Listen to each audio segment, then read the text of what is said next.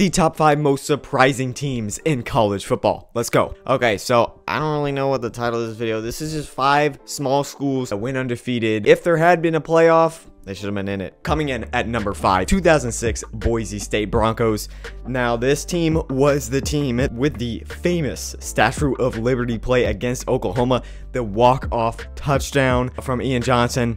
This was the start of really Chris Petersen's success. And I think this was kind of what one of the first like really good Boise State teams throughout the decade, two decades. Boise State has been a very good non-power five team. Number four is the 2017 UCF Knights. They, they proclaimed themselves national champions. They didn't get to get in the playoff even though they were undefeated. This was during, you know, the 14 playoff 2017, but they went on to play Auburn, dominated in their conference championship. They beat a very good Memphis team in a thriller. Uh, if there was at least an 18 playoff, they would have made it. And it would have been cool to see the damage they, they could have done. Either way, they won in the Peach Bowl versus Auburn and they proclaimed themselves national champions that year. We got the 2004 Utah Utes. Uh, this team went undefeated. I believe they were in the Mountain West uh, Conference back then, and they had guys like Alex Smith leading the offense and Eric Weddle leading the defense big time NFL guys that went on to to have great careers in the NFL. And then you got this was back when Urban Meyer was coaching and this was one of his first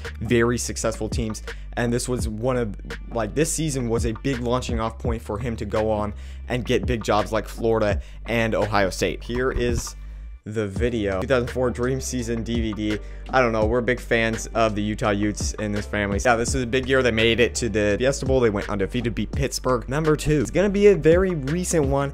They were in the thumbnail. It's the 2021 Cincinnati Bearcats, the very first team to make it into the four-team playoff and really have a shot at the national championship. They played Alabama. They fought them hard but lost. I think this was a very successful season. I think this is probably the only team that didn't go undefeated, but this was the only team that did make it into the playoff and get a chance for the national title. The defense was led by Sauce Gardner. You know, we see him doing really good in the NFL right now. The offense led by Desmond Ridder. And they, they kind of started off the season with a big signature win against Notre Dame. Luke Fickell has had huge success with the Cincinnati Bearcats now he's moving on to Wisconsin, trying to get that program back in shape. Number one is the 2008 Utah Utes. The Utah Utes on here twice.